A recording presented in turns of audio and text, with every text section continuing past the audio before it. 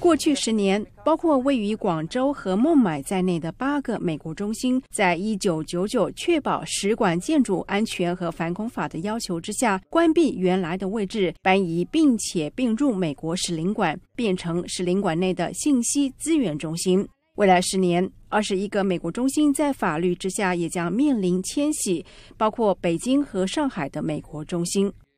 美国公共外交咨询委员会担忧，这些美国中心从原来靠近市中心的独立位置并入美国使领馆，可能会影响推广公共外交的努力。由于美国中心是推广教育以及文化交流的开放平台，并入使领馆的副作用是导致美国中心比较不易进入，必须事先预约，并且面临严格的安检以及上网限制。美国公共外交咨询委员会的执行董事凯瑟琳·布朗星期二在一场公开会议中指出，我们统计出来有二十一个美国中心将要与使领馆合并配置，也就是说，他们要关闭城市中心的地点，搬到限制更多的信息资源中心去。地图上红色部分显示这些地点在哪儿，这是所有城市。我们可以看到，这些都是非常重要、能够塑造国际体系形成的都市中心。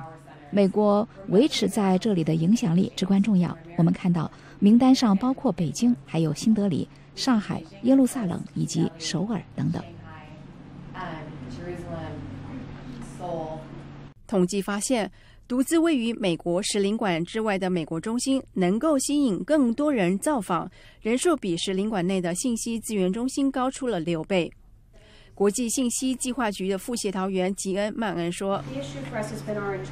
我们的问题一直是我们的内部系统和相关法律要求所有其他设施和新建的使馆建筑。”配置在一起，所以这不是我们和这些国家互惠的问题，问题是我们的内部运作和法律要求。一旦决定要盖新的使馆，所有外部的设施都要划归到内部。美国公共外交咨询委员会因此建议美国国会在年度国务院的授权法案中纳入条文，表达国会立场，授权国务卿得以让美国中心豁免于相关的法律规定，不用迁移搬进美国使领馆的所在地。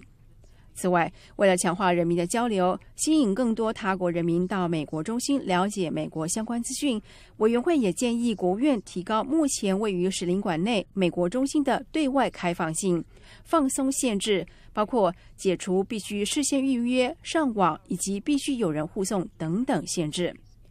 美国公共外交咨询委员会在美国国会的授权之下成立，成员来自民主和共和两党。主旨之一是为提倡公共外交努力而做出政策的建议。以上是 VOA 卫视记者张荣香的采访报道。